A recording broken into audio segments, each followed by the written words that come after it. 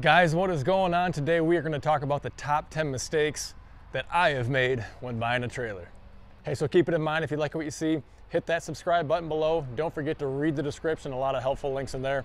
Here we go. So I have bought a lot of trailers in my day, uh, way too many that I can even really remember. I tried to look for all the pictures, I just don't have all the pictures available of all the trailers. Quite a few custom made ones, uh, even just some local fabricators, you know, bought a lot of used ones, galvanized aluminum, steel, you know, gooseneck, bumper pull, enclosed, all the above. And there is always something that I regret or I wish that the trailer had or I wish I would have done differently, this, that, the other thing. You know, it's kind of you wish you had like 10 trailers because they all are good at one specific thing. I want to tell you the things that I did in particular here that I regret, hopefully help you avoid making the same mistakes. This is the longest trailer that I've had by far, and it has finally become an adequate size to meet my needs. And it's gonna be a 28 foot flat deck here, and then you have a five foot dovetail here on the back as well. And you know, by the time you add on for me, you know, a tractor, you know, most of them are not going to be this big even, but even like a, a two series tractor, one series, three series, that kind of thing. You got a loader on it, you got a brush hog on it, you have 20 feet right there. You know, and you really don't want to max out your entire trailer just with the machine. You want to have some room to spare so you can balance things properly as well. And finally, you know, 33 foot overall length here has become adequate. And I can't tell you how many 14 foot, 16 foot, 18 foot, 20 foot trailers I've had that just didn't meet the needs. So I think after years of trial and error, I've finally hit the nail on the head with the right length for me. So there's a lot of ramp choices out there depending on the trailer that you're looking at. You know, obviously if you have a tilt deck, for instance, there's not really ramps involved with that. But on something like this, that's gonna be a fixed type deck, you gotta have some sort of ramps on the back. I've had just about everything except for a hydraulic dovetail. I really wanted to get that on this trailer here, but it was, well, very, very expensive to add that on and also weighed so much more that it cut into the, um, the load capacity for the trailer here, so I opted not to do that. This has been my favorite ramp setup that I've had to date. These are gonna be the monster ramps here where they flip up like this, flip back down. They can be stored in the up position if needed, and you can also, when they're in the folded position, drive equipment on here and then use that as um, additional space as well. For years I had trailers with either pull-out ramps from the side or pull-out ramps from the back that you would then hang on here. You know, most of them didn't come with any kind of a, a retainer rod or pin. A couple of them did. With a design like this right here, you have a complete ramp going all the way down, you know, except for a, a, little skinny gap there in the middle. It's super solid. It's, it's permanently, you know, part of the trailer here. You can see the, the frame that's welded in place here and then uh, rigidly tied in place here as well. So it's a very secure, very safe feeling coming on and off the trailer. Not that I ever had an accident with the other setup, but I can tell you it was always in the back of my mind. If you have the extra money, it's definitely worth getting a setup like this. Yeah, so tires are one of the things that uh, you kind of figure out after you go along. And my last trailer, for instance, it was an aluminum, American Hauler was the brand, 20 foot car hauler. Uh, came with the cheapest possible tires that were on there. I don't really remember if there was an upgrade option or not. There probably was. It seems like there normally are if you're going to buy a track or a trailer new. So on this PJ trailer, when I custom ordered it here, this is going to be a tandem axle setup, but it's going to be a single tire, a single wheel on either side. There's not a dually setup here as far as the tires go on on either side. I went with a load range G tire that's on here. Uh, definitely a big upgrade. I think it's a 14 ply tire as well, if I recall yeah, 14 ply rating tire that's on here as well. So these are uh, just what I need. So when I got that aluminum trailer with the cheap tires on it, I had three blowouts on it in the first six months. It was insane. So I went to my local tire shop here and just had all of them around, uh, upgraded with a heavier duty tire along with the spare as well. And the same thing actually happened on my enclosed trailer as well. On the first load that I had with it, I blew a tire on there. And I am not one to overload a trailer. This is just going down the road, hauling well within the design limits for the trailer, blew them out. So I was sick and tired of paying for tires. Went with the upgraded ones. So far, so good on these.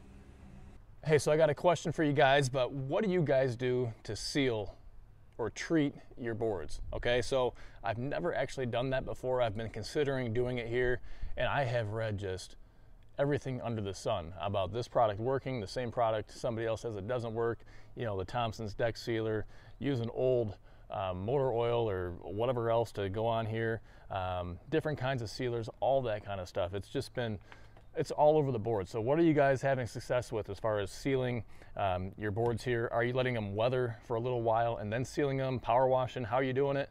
Um, it just seems advice is all over the board. I'd like to know what you guys had success with and what didn't work for you. And while I'm asking questions, I want to ask you one more. I keep hearing about airbags, that they're the way to go. Obviously, this is sitting at a very awkward angle here. This handles the load just fine, but I'm still told that airbags really improve the ride of the truck. So what's the positives, what's the negatives? I've heard that there's a lot of trouble with them, but is there a certain type that uh, is pretty much problem free? Can I do this myself? Don't need to have a dealer install it. Any other options out there?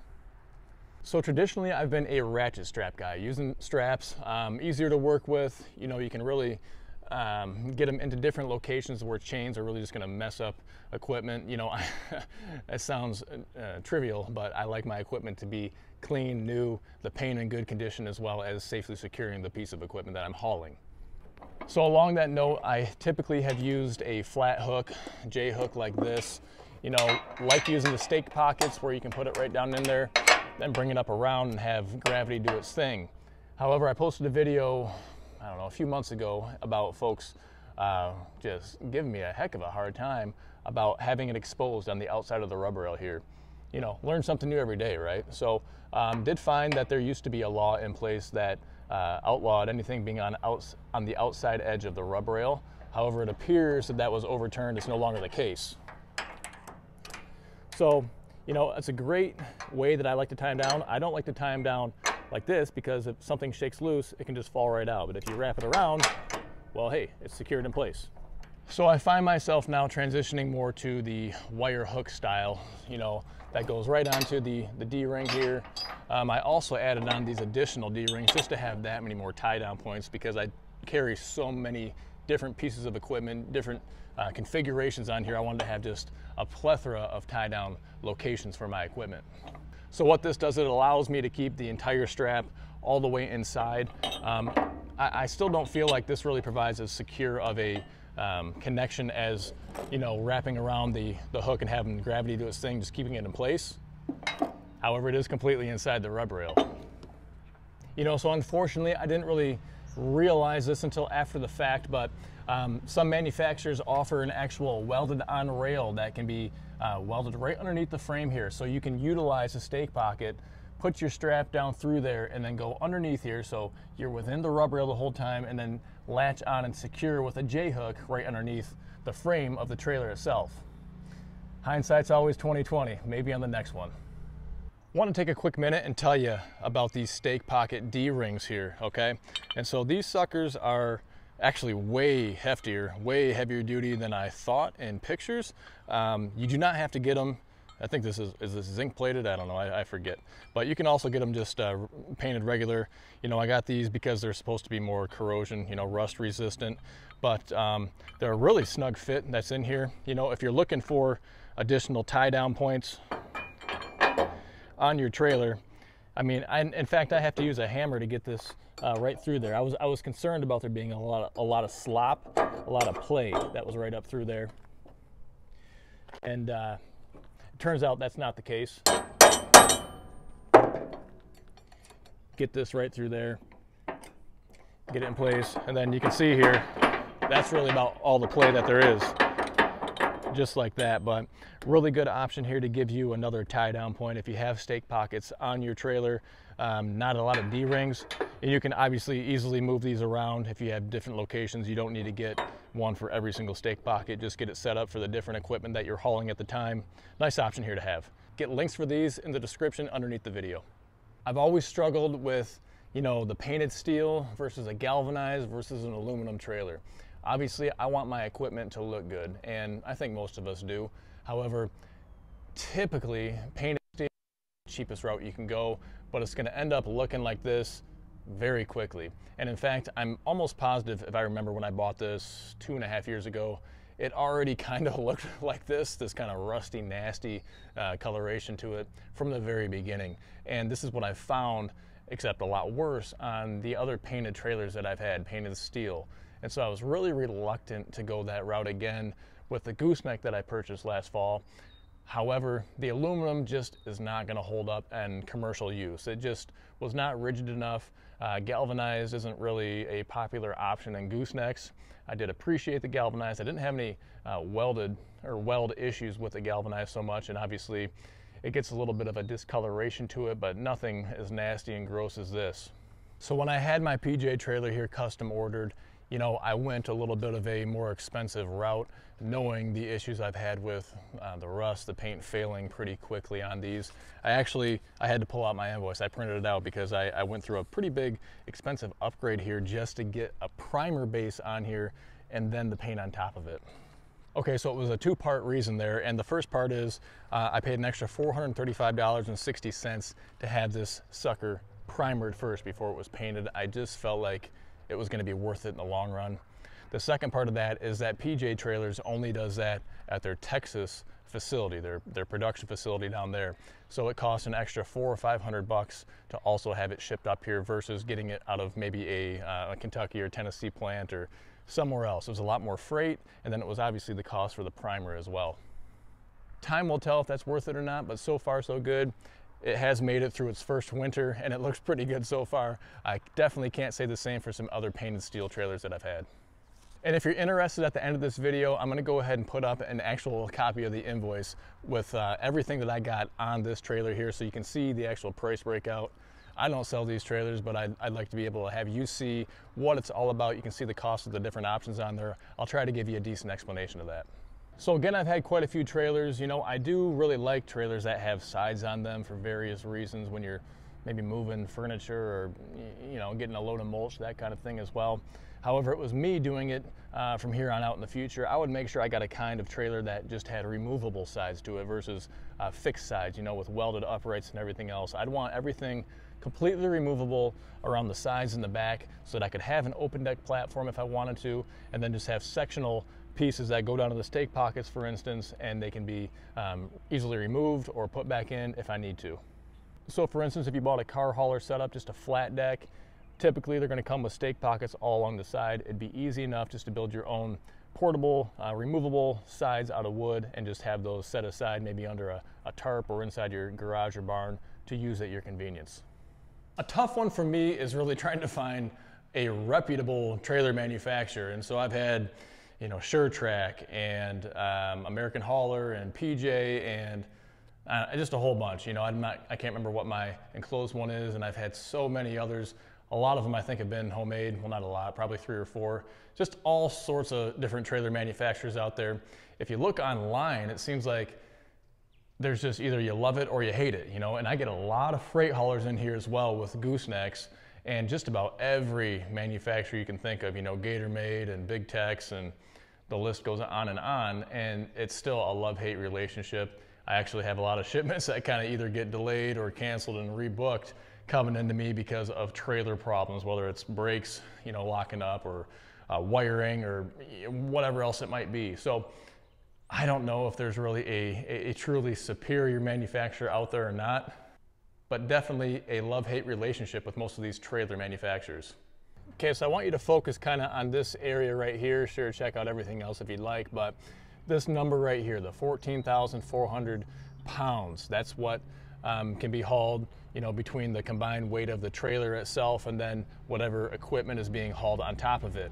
You know, you got to take into consideration things like, um, you know, spare tires, if you have extra storage boxes, you know, anything else that you have on there is going to affect your ability to um, put equipment on here. You're going to have to deduct all the trailer weight and the options from the 14,400 pounds, and then that's gonna be the load you can actually put on here. So an interesting thing about this number right here is this trailer was originally uh, rated at 15,680 pounds, and I actually had it down rated. So the reason I did that is because I'm, I'm hauling this with a couple different trucks, an F350 and F250. I wanted to make sure I could stay underneath the 26,000 pound weight limit uh, with either setup that I have going on. And so I didn't even know that this was a legal thing to do, but apparently it is, and trailer manufacturers do it all the time. They will downrate them. And so while this trailer technically can haul more weight safely, this is what I am uh, able to haul based on the sticker. There's always the question of what's the right type of trailer to get, you know? An enclosed trailer like this, So everything stays nice and clean and dry. A gooseneck, a bumper pull, one of everything. Why not if you can? I bought this one um, a couple of years ago. Basically, I needed you know another chunk, another write-off. So I bought this right at the end of the year there. Really have not used it like I thought I was going to. Thought I would use it uh, for more deliveries in the wintertime to try to keep tractors clean, that kind of thing. It does have an integrated ramp uh, that, that folds out. It's also six inches taller than standard. That way I could fit larger tractors in there and not be restricted by that overhead height. If I was doing it over again, I probably would not buy this trailer. I really use it maybe two or three times a year, not very often at all. Really just use the open deck trailer over there that suits my needs almost all the time. Even in the wintertime, we're typically not doing deliveries on nasty days. And so it's gonna be those nicer, sunnier days that we're out on the road where an open trailer just like that there is just fine.